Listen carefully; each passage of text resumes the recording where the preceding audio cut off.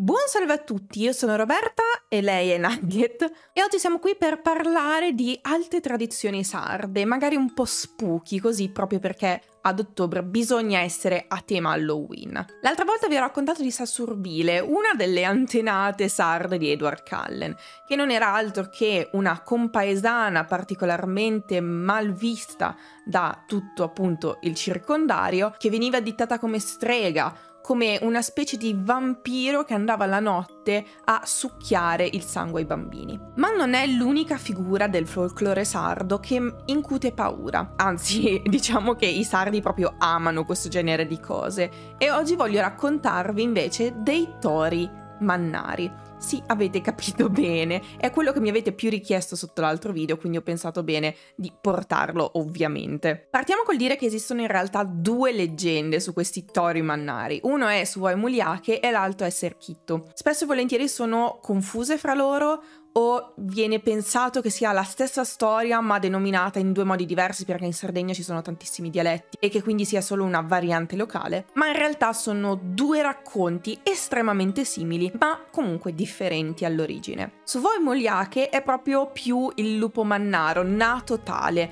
è una maledizione che ci si porta fin dalla nascita e che ci obbliga a trasformarsi in tori ogni volta che spunta la luna piena. Si dice che poi questo toro vaghi, che rapisca i bambini, li mangi oppure spaventi la gente, ma comunque non è la cosa più interessante. Secondo me il racconto di Serchittu è molto più bello e interessante da scoprire. Chi è Serchittu? È una persona normalissima che però ha commesso un grave peccato. Un peccato però che non è conosciuto da tutti o conosciuto proprio da nessuno. Qualcosa che solo Dio conosce o che la sola persona conosce. Se qualcuno se lo stesse chiedendo, no, non sorprendetevi dei continui riferimenti a Dio al cristianesimo perché il paganesimo sardo si è evoluto e si è fuso con il cristianesimo nell'isola, quindi è molto comune il fatto che Dio o i peccati siano una parte integrante della leggenda. Ma comunque, siccome questo peccato non è conosciuto e non è punito dalla legge, il divino si occupa di punire sulla terra, nel mondo terreno, la persona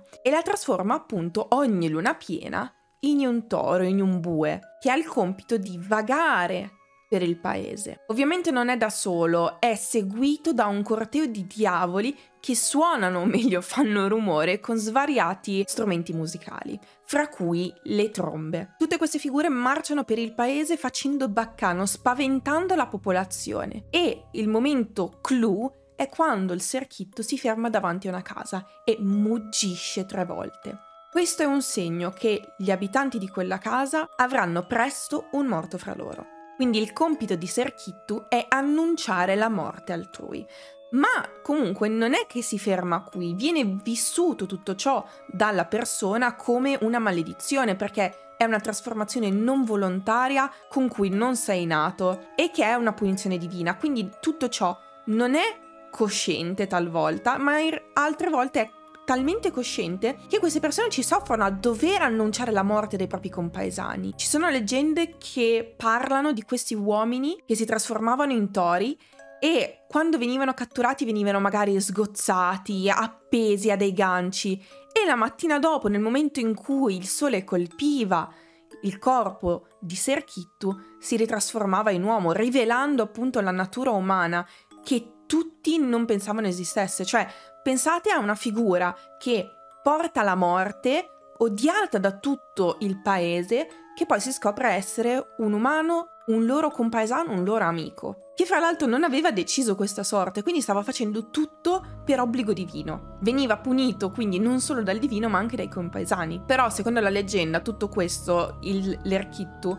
se lo merita perché c'è un peccato di base che lui deve espiare, quindi qualsiasi cosa succeda è colpa sua e se lo merita. La cosa più interessante però è che dalla maledizione ci si può liberare. Ma come? È abbastanza strano, ma una persona a te cara deve sapere che tu sei l'erchittu, ti deve aspettare e nel momento in cui tu ti pari davanti, questa non deve esitare, non deve guardarti negli occhi, ma anzi deve prendere una scure d'argento e tagliarti entrambe le corna in un solo colpo. Insomma, non la cosa più facile del mondo, soprattutto se davanti hai un bue enorme con le corna giganti che vuole annunciare la morte altrui e soprattutto seguito da un corteo di diavoli. Ma comunque nella tradizione sarda ci sono storie di serchittu pentiti che vengono salvati. Quindi evidentemente è raro ma non impossibile. E nulla, per oggi ho finito di blaterare, spero che questa leggenda del folklore sardo vi sia piaciuta. Io vi ringrazio come al solito per tutto il supporto, il supporto che date al canale, grazie fra l'altro per i 2500 iscritti che abbiamo appena raggiunto. Io come al solito vi lascio le fonti qua in descrizione, vi invito ad approfondire ovviamente, ma comunque grazie grazie grazie per aver seguito. Noi ci rivediamo in un prossimo video. Ciao ciao bimbi belli! 呀，风。